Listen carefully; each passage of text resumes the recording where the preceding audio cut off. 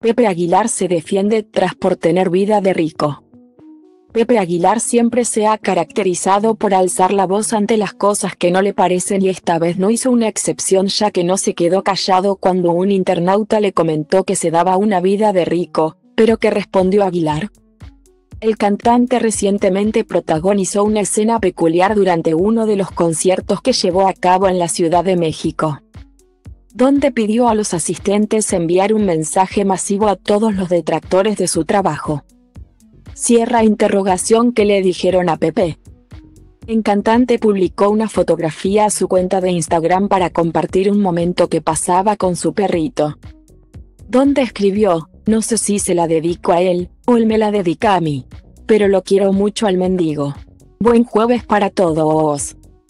Sin embargo, un internauta le escribió que qué vida de rico se daba y que lo disfrutara.